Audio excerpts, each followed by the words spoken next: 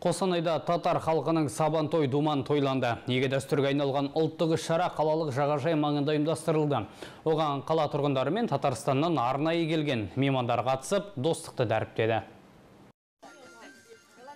Сабантой думаны түркі тілдес халықтардың көктемгі егіс науқанынан кейінгі бас қосуы. Ауызбіршілік пен еңбек адамның ұлықтайтын мереке. Бұл аграрлы өңіріміз үшін өте маңызды. Қостанайда 20 жылдан астам уақыт бойы достылық татар башқұрт этномәдени бірлестігі жұмыс істеп келеді. Ұйым аймақтың әлеуметтік экономикалық дамуына да, мәдени өміріне де үлкен үлес қосып отыр. Я здесь уже 23 года. Мен татар башқұрт этномәдени орталығына келгенімде оның құрылғанына екі жыл ғана болатын. Содан бері 20 жылдай болды. Бұл уақыт аралығында бірлестік көптеген ауқымды іс-шараларға мұрындық болды. Ұстанған негізгі қағидатымыз бірлік, ынтымақ, татулық.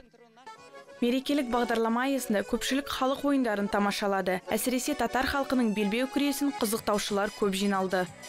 Хочется сказать, что этот праздник наш Сабантуй Айтайын дегенім бұл мейрам біздің сабантой ұзақ жылдар бойы мерекеленіп келеді. Тек қана татар немесе башқұрт ұлтынікі деп айта алмаймын. Бұл ортақ өлкеміздің мерекесі. Көптеген адамдар оны өздерінің мерекелері ретінде қабылдап жатыр. Мен барша халықты осы мерекемен құттықтағым келеді және барлық жақсылықты тілеймін.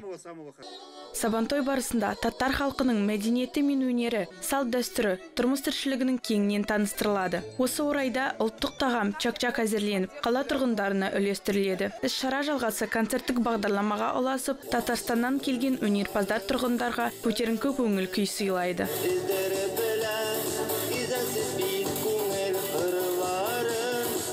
Анна Фирсова, Диаз Бесенов, Қостанай телеарнасы.